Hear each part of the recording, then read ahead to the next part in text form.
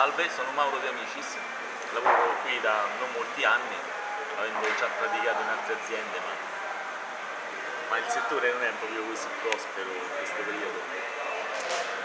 Tanta, tanta, concorrenza, si viene da un periodo d'oro, adesso è un momento di difficoltà, le aziende sono tante e quindi i prezzi dei, dei lavori scendono, è tutto difficile. Quindi che, che prospettive vedi per questo lavoro nei prossimi lavoro, anni? Questo lavoro qui, diciamo proprio questo che faccio io, sono macchinista falegname, insomma facciamo le costruzioni sceniche, eh, la vedo dura, le aziende stanno in difficoltà, manderanno tutti a casa e noi dovremmo diventare tutti liberi professionisti forse o comunque so, cercheremo di organizzarci in qualche modo.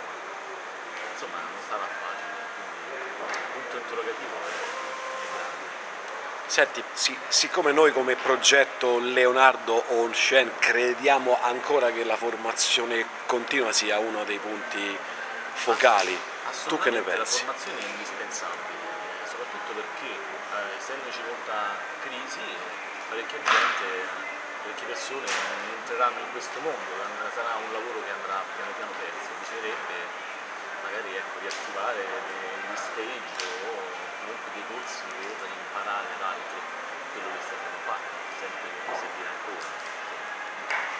Si dice che saremo soppiantati dalla tecnologia anche noi, nel virtuale e quant'altro. Eh, hai, in, hai introdotto un argomento essenziale che è quello della digitalizzazione no? di tutti i mestieri.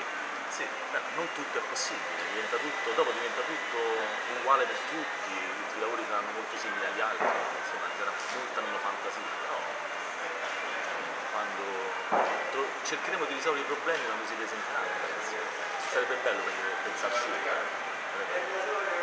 Grazie Noah. Grazie.